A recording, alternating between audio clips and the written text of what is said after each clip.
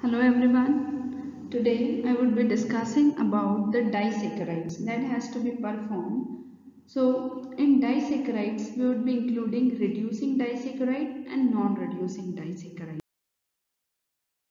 So when uh, reducing disaccharides like uh, the given sample is you don't know when there is unknown but when you know that it is a lactose or maltose then we need to perform this all test. So starting with Molisch test as they are carbohydrate, it will give you the violet purple color. Ring at the junction of two layers. We can write in the inference that carbohydrate is present. Iodine test, it is a disaccharide, so no change is observed. Here we can mention the polysaccharide and absent. Maybe mono or disaccharide could be present. So here need to differentiate between mono and disaccharide. We will here then we need to do whether it is a reducing or non-reducing disaccharide. So I will perform Benedict's test. It would give you brick red precipitate. That will suggest the sugar, the sample is reducing sugar. So it could be fructose, lactose, maltose, sucrose, fructose. Right? Whether it's a monosaccharide and disaccharide. So here we got to know the given sample is reducing in nature. Then I will perform Barfoed test. No change is observed as the given sample is disaccharides. So monosaccharide absent, disaccharide may be present. Now I need to differentiate between these two disaccharide, lactose and maltose. Here Selivanov test is not required. Then I will perform directly the Osazone test. As this is a confirmatory test or we can say a test that is done to differentiate between lactose and. If it is a lactose, then it would give you the powder puff shaped crystals. If it is a maltose, then it will give you sunflower shaped crystals. So we will just go through the all test color and what all observation you get. Next is the sucrose. Sucrose, it is a non-reducing sugar. So, first we need to do the Molisch test. As it, as it is a carbohydrate, will get a purple violet color ring that is observed at the junction of two layers. So, carbohydrate present.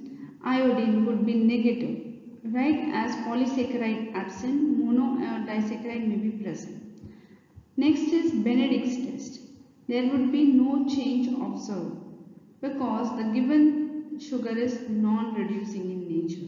So by here I get to know, okay, my sample could be either sucrose. Here it cannot be starch because polysaccharide is absent. So the given sample is sucrose. So further, for non-reducing sugar, I will do the inversion test.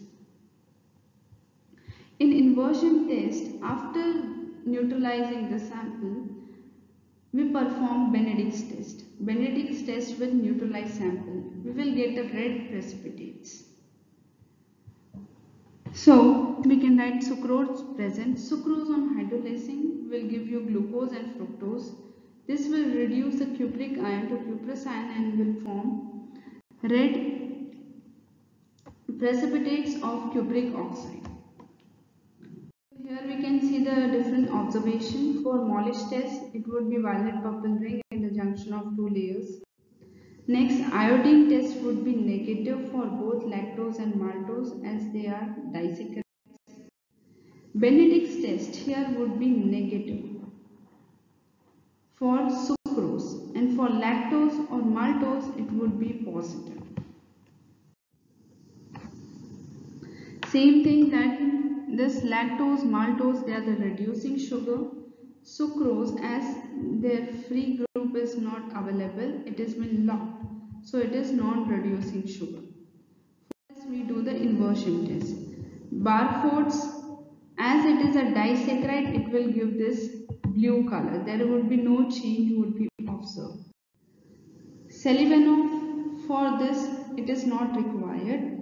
After inversion test we can do the Selivanov test with neutralized sample for fructose. Sucrose on hydrolysis will give one molecule of glucose and one molecule of fructose.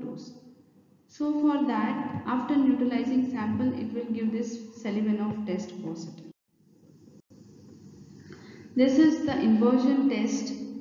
This first is Benedict's test that is negative and after doing the Benedict's test when neutralized sample it will give this Benedict's test positive. It would be weakly negative.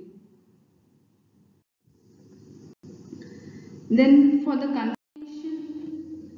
disaccharide, reducing disaccharide, we will perform Osazone test. So by this characteristic crystals, we can differentiate between lactose and maltose. So that's all for the disaccharides. In the next video, we will see about the polysaccharide and unknown classification. Mm.